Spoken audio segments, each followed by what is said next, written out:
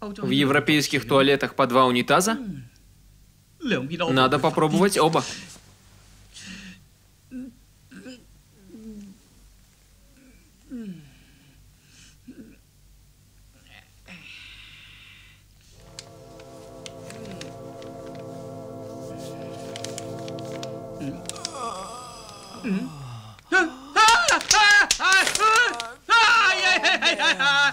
Господи, кто вы? Что вы здесь делаете? Я же теперь срать не смогу никогда.